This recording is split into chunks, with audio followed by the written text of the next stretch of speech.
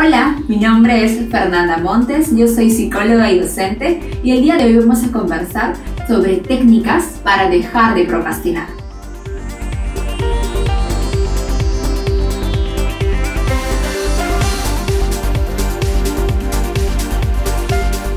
¿Y qué es la procrastinación?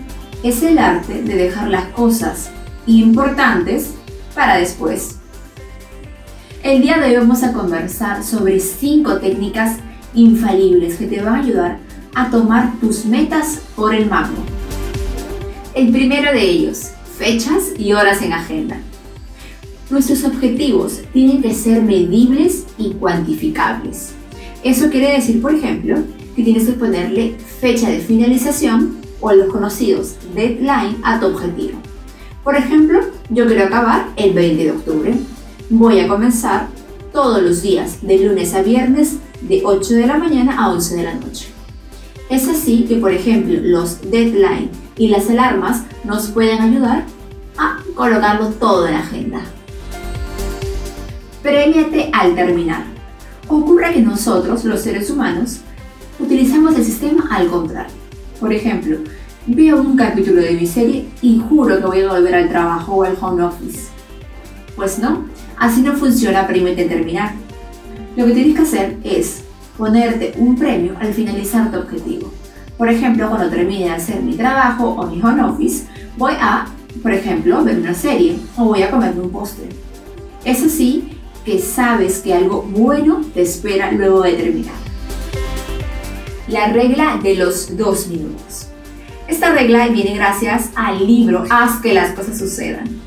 Simplemente tienes que pensar de que va a ser un calentamiento y que solo te va a tomar dos minutos. Es así que tú comienzas con la actividad. Ni te das cuenta y el tiempo va transcurriendo.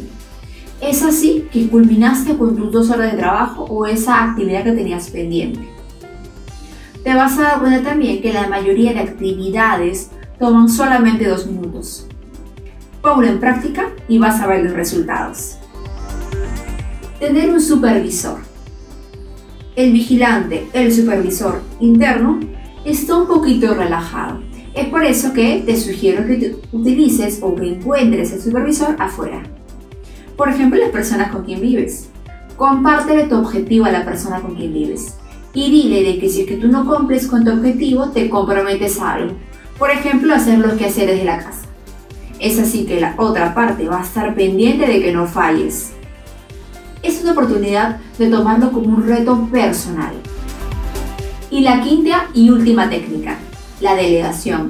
Pregúntate si alguien más puede hacer esa labor, si alguien más puede encargarse.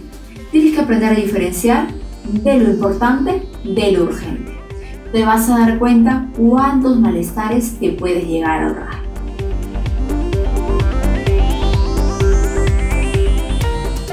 Bueno amigos, si tienen más consultas, los invito a seguirme.